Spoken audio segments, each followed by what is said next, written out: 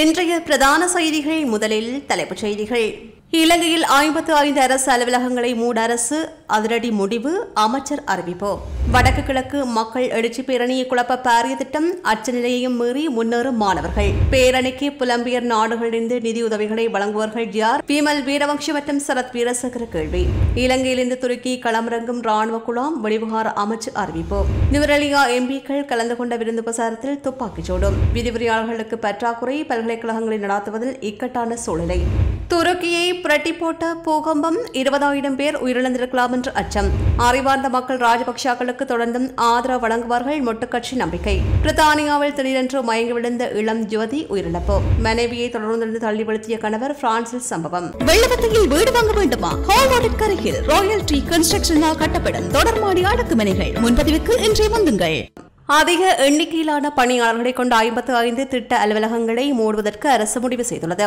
திட்ட அலுவலகங்கள் மற்றும் திட்ட முகாமைத்துவ அலகுகளை மீளாய்வு செய்வதற்கான குழுவின் அறிக்கையின் அடிப்படையில் அமைச்சரவை இந்த தீர்மானத்தை எடுத்ததாக அமைச்சரவை தீர்மானங்களை அறிவிக்கும் ஊடகவியலாளர் சந்திப்பில் அமைச்சர் பந்துல குணவர்த்தன தெரிவித்தார். முன்னாள் அமைச்சின் சீரார் எச். டி. கமல் பத்மஸ்ரீ தலைமையில் ஜனாதிபதியினால் இந்த குழு நியமிக்கப்பட்டது. குழுவின் பரிந்துரைகளின் அடிப்படையில் முப்பத்தி ரெண்டு திட்ட அலுவலகங்களை தற்காலிகமாக நிறுத்தி வைக்க முடிவு செய்ய செய்யப்பட்டுள்ளது. நாற்பத்தாறு திட்ட அலுவலகங்கள் குறைந்தபட்ச ஊழியர்களின் கீழ் இயங்க வேண்டும் என்றும் இதற்கான குழு அறிக்கையை பரிந்துரைத்துள்ளதாகவும் அமைச்சர் குறிப்பிட்டார். இந்த விடயம் தொடர்பில் அமைச்சரவையில் விரிவாக ஆராயப்பட்டதாகவும் அமைச்சர்களின் கோரிக்கைக்கு அமைய ஐம்பத்து ஐந்து அலுவலகங்களும் மூடப்படுமா என்பது தொடர்பில் இறுதி தீர்மானம் எடுக்கப்படும் என்றும் ஜனாதிபதி தனது இணக்கத்தை தெரிவித்துள்ளார். இதன்படி குழு அறிக்கை எதிர்காலத்தில் நிதி அமைச்சுடன் கலந்துரையாடப்படும். பெரிய அளவிலான வளர்ச்சி திட்டங்களுக்காக பல அபிவிருத்தி திட்ட அலுவலகங்கள் மற்றும் திட்ட மேலாண்மை அலகுகள் நிறுவப்பட்டுள்ளன.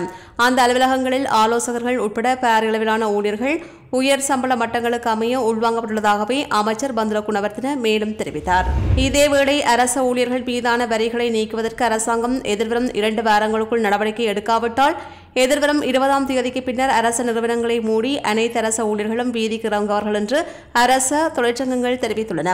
தமது பிரச்சினைகள் தொடர்பில் நிதியமைச்சர் நேற்று கடிதம் ஒன்றை கையளித்த பின்னர் ஊடகங்களுக்கு கருத்து தெரிவிக்கையில் தொழிற்சங்கங்களின் பிரதிநிதிகளே இதனை தெரிவித்தனர். அரச ஊழியர்கள் தங்களின் வருமானத்திற்கு ஏற்றாற்போன்றே வங்கிகளில் கடனை பெற்றுள்ளார்கள் என்றும் இவ்வாறான நிலைமையில் எமது சம்பளத்திற்கு வரிகளை அதிகரித்து சம்பளத்தை கடனுக்கும் வரிக்கும் எடுத்ததும் கையில் எதுவும் எஞ்சுவதில்லை நாடு வங்குரோத நிலைக்கு கொண்டு சென்ற அரசாங்கத்தினால் அரசு சேவையை வங்குரோத நிலைக்கு கொண்டு செல்ல முடியாது என்றும் குறிப்பிடப்பட்டுள்ளது. நான்காவது நாளான இன்று மட்டக்களப்பு காந்தி பூங்காவில் மாபெரும் மக்கள் எழுச்சியோடு நிறைவடையவுள்ள வடக்கு கிழக்கு மக்கள் எழுச்சி பேரணியை கிழக்கு பல்கலைக்கழக மாணவர்கள் குழப்புவதாக போலியான தோற்றப்பாட்டை உருவாக்குவதற்கு சதித்திட்டம் முன்னெடுக்கப்பட்டுள்ளதாக கிழக்கு பல்கலைக்கழக மாணவர்கள் குறிப்பிட்டுள்ளனர். குறிப்பாக வாழைச்சேனை புயர்தல் நிலையத்திற்கு முன்பாக சில முஸ்லிம் அமைப்புகளை வைத்தே குறித்த சதித்திட்டத்தை முன்னெடுக்க திட்டமிடப்பட்டிருப்பதாக தெரிய வந்துள்ளது. பேரணியுடன் வருகின்றவர்கள் மீது தாக்குதல் நடத்த திட்டங்கள் மேற்கொள்ளப்பட்டுள்ளதாகவும் கிழக்கு பல்கலைக்கழக மாணவர்கள் அச்சம் வெளியிட்டுள்ளனர். வடக்கு கிழக்கு பேரணியை தடுக்கும் வகையிலேயே குறித்த சதித்திட்டம் ஏற்பாடு செய்யப்பட்டுள்ளதாகவும் மாணவர்கள் தெரிவித்துள்ளனர். இதேவேளை வந்தாறு மூலையுள்ள கிழக்கு பல்கலைக்கழக சிங்கள மாணவர்கள் மற்றும் அங்குள்ள ஒரு சில தமிழ் மாணவர்களை வைத்தும் இந்த பேரணியை குழப்புவதற்கு முயற்சிப்பதாகவும் கிழக்கு பல்கலைக்கழக மாணவர்கள் குறிப்பிடுகின்றனர்.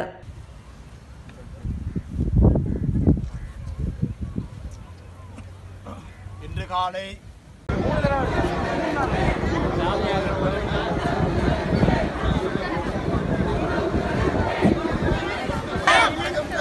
ராணுவமே வெளியேறு. ராணுவமே. வெளியேறு. மட்டக்களப்பு. கிளிநொச்சி. எங்கள் சொத்து. கிளிநொச்சி. எங்கள் சொத்து. ராணுவமே. வெளியேறு. ராணுவமே. வெளியேறு. யாழ்ப்பாணம். எங்கள் சொத்து. யாழ்ப்பாணம். எங்கள் சொத்து. அதை துல்லியமாக செஞ்சு பஸ் ஸ்டாண்டு சரியா சேர்த்தாங்க இந்த பஸ் தான்.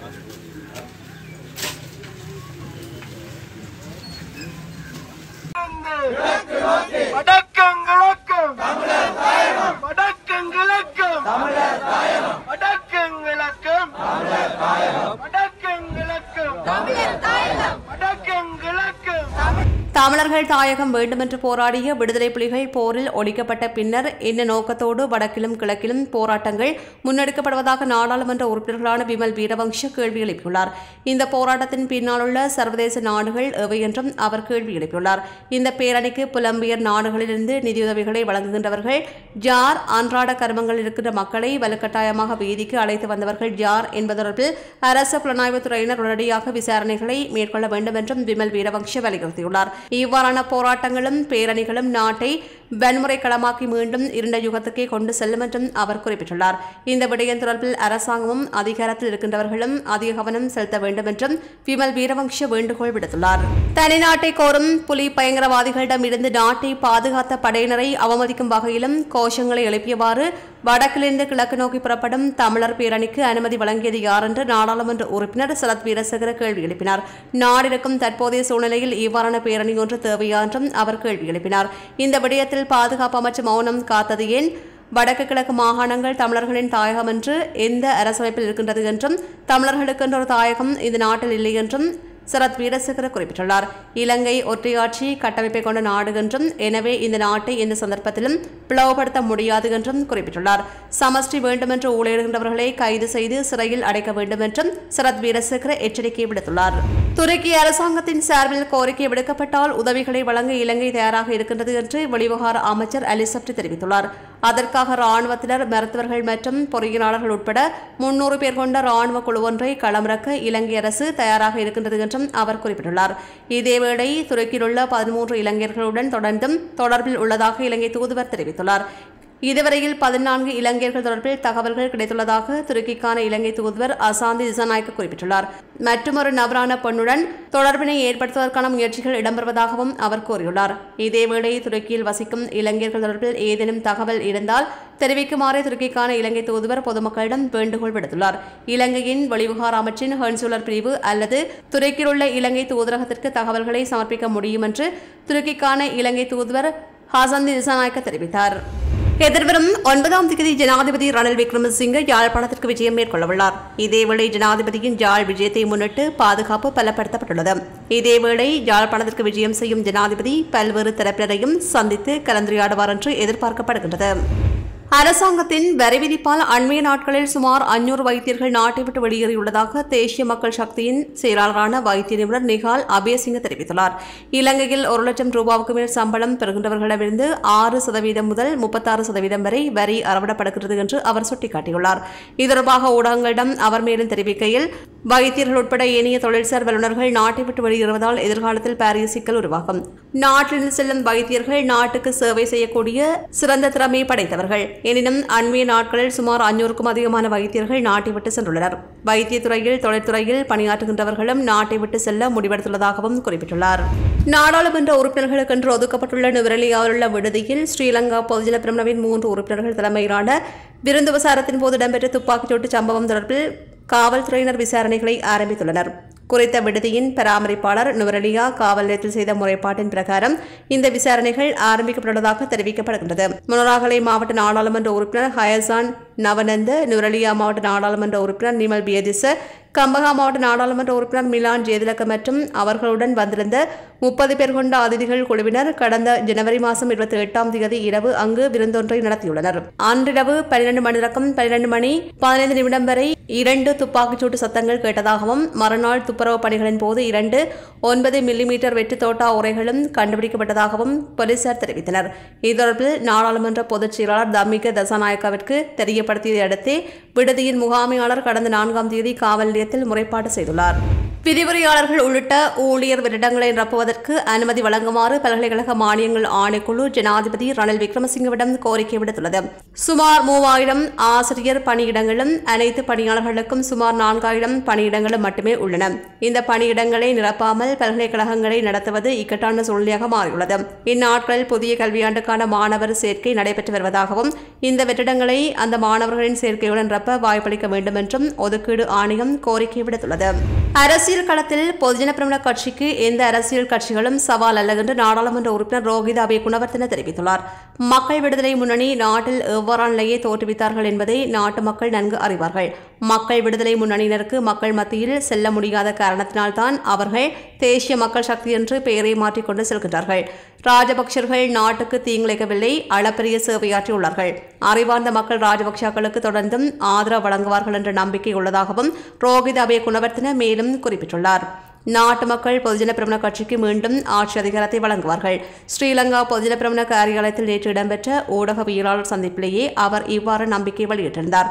பொருளாதார நெருக்கடிக்கு மத்தியில் தேர்தல் நடத்தப்பட வேண்டுமா என்பது குறித்து தனிப்பட்ட முறையில் அவதானம் செலுத்த வேண்டும். வெற்றியோ தோல்வியோ தேர்தலில் போட்டியிடுவோம் என்றும் அவர் தெரிவித்தார்.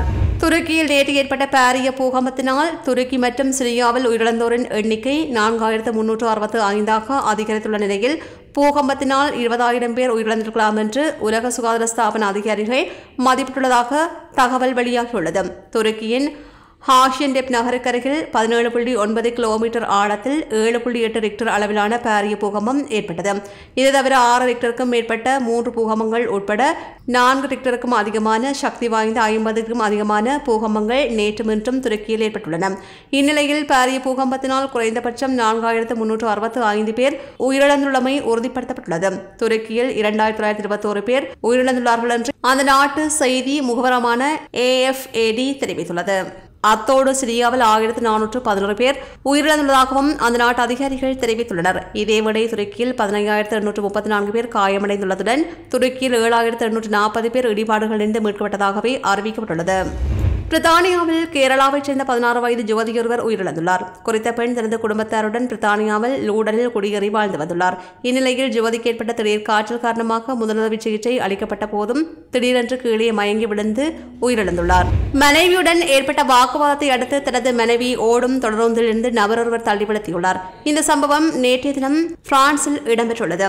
காலை ஆறு மணி நாற்பது நிமிடமளவில் குறித்த நிலையத்திலிருந்து ரேர்டி தொடருந்தானது பயணிக்க தயாரான போதே நபர் ஒருவர் தனது மனைவியை தொடர்ந்து தள்ளிப்படுத்தியுள்ளார் தண்டவாளத்தில் விழுந்த மனைவியால் கால் மற்றும் இடுப்பு பகுதியில் எலும்பு முறிவு ஏற்பட்டது. உடனடியாக தீயணைப்பு படையினர் குறித்த பெண்ணை மீட்டு மருத்துவமனையில் அனுமதித்தனர்.